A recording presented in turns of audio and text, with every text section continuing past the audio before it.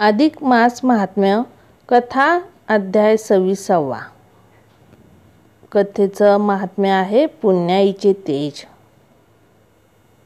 सूत सांगतात की श्रोते हो एकदा लक्ष्मी देवीने श्रीनारायणांना एक प्रश्न केला की स्वामी आजपर्यंत आपण मला अधिक मासातल्या स्नान दान व्रत वैकल्य उपास उपासना जप तप यातून प्राप्त होणाऱ्या पुण्याच्या अनेक कथा सांगितल्या आहेत. पण प्रभू माझ्या मनात अशी एक शंका येते की जर ह्या गोष्टी केल्यावर पुण्य पदरी पडतं तसं जर ह्या गोष्टी केल्या नाहीत किंवा त्यांची निंदा केली उपहास केला तर त्याबद्दल शिक्षा दुःख क्लेश भोगावे हे पण भोगावे लागत असतीलच ना? तेव्हा एकदम हसत प्रभू म्हणाले आलं माझ्या लक्षात देवी.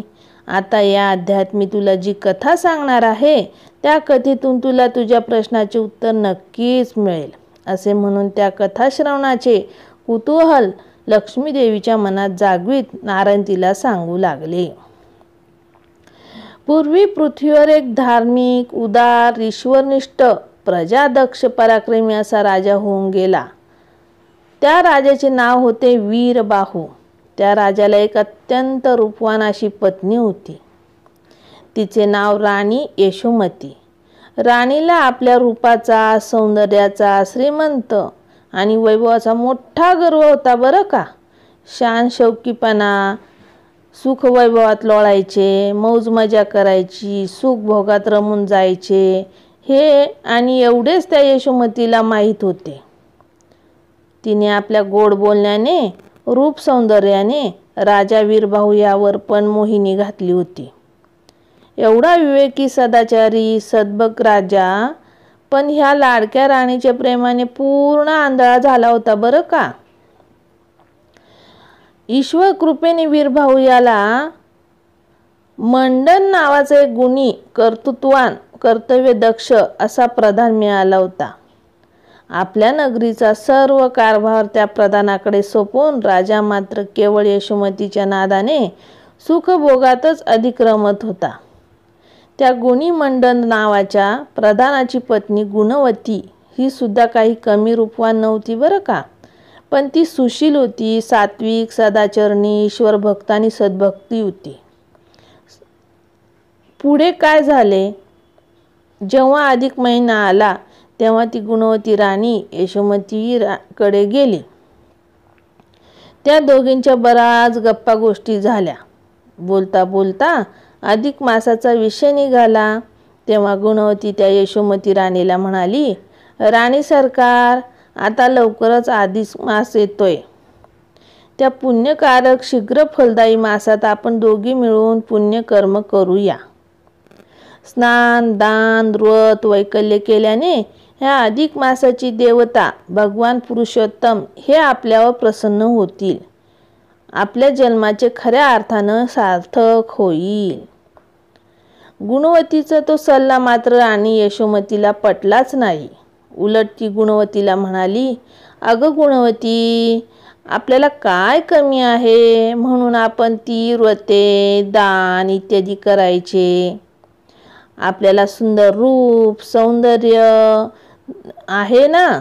धनसंपत्ती आहे राजवैभव आहे. मग आपल्याला त्या अधिकातल्या पुण्याची गरज ती काय?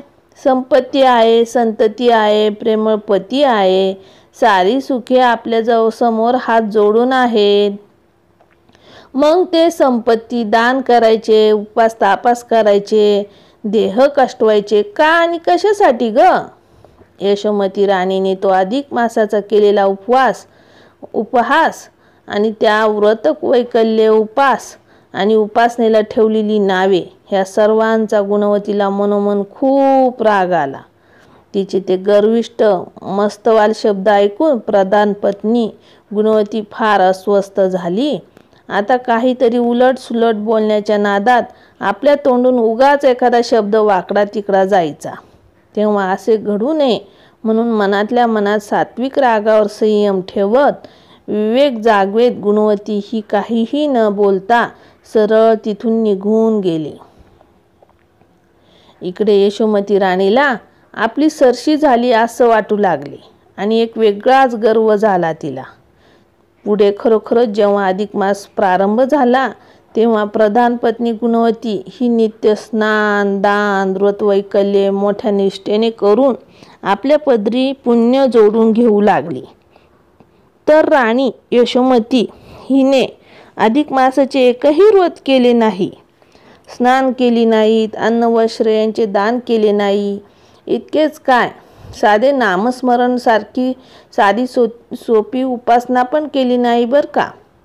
ती सारखी सैदैव सुख विलासातच लोळत राहिली. उलट ज्या स्त्रिया अशी पुण्यकर्मे करीत राण राणी त्यांची अवहेलना करायला लागली.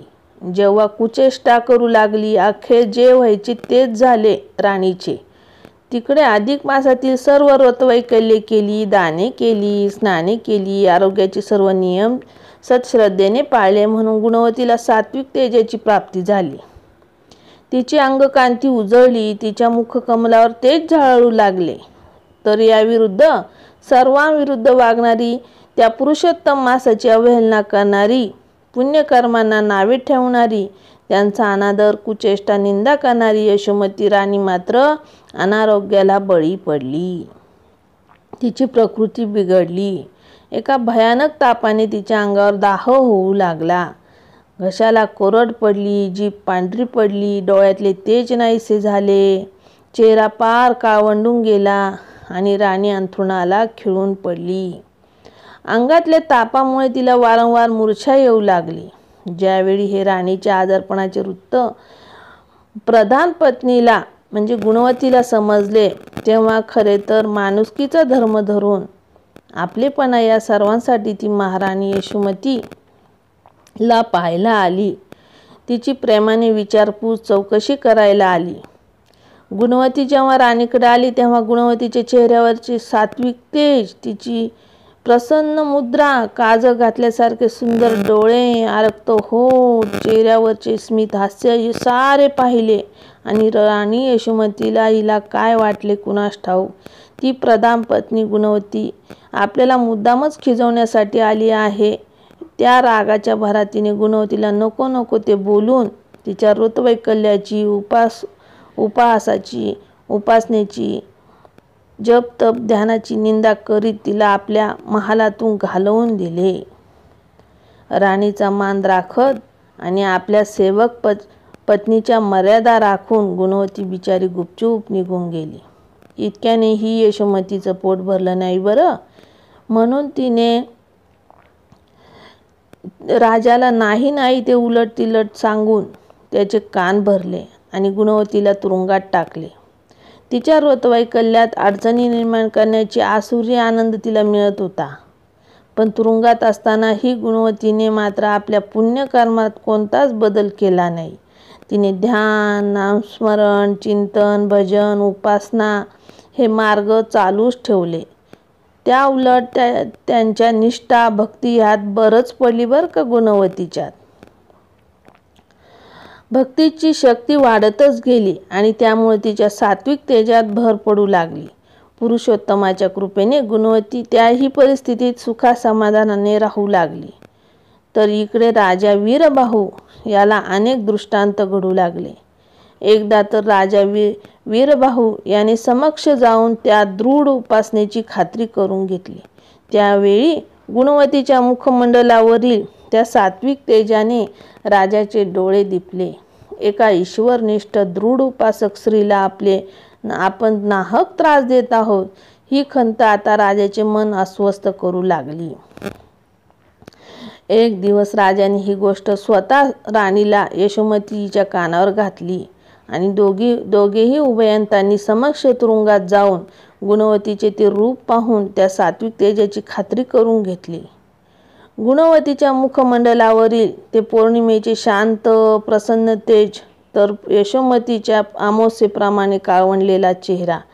हे सत्य जेव्हा तिच्या लक्षात आले तेव्हा गुणवतीची क्षमा मागून तिला मुक्त करण्यात आले. भगा भगवान पुरुषोत्तम प्रिय अधिक मासाच्या अवहेलनेचे फळ राणीला भोगावे लागले.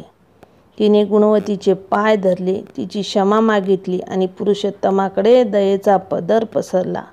गुणवतीने राणीच्या अंगावर हात फिरवताच ती पुन्हा पूर्वरत झाली हो. राणीच्या पुण्याईच्या तेजाचे गुणवतीत दर्शन झाले. अध्याय हा समा सव्वीसावा हा इथेच आता समाप्त होत आहे. ओम शांती शांती शांती.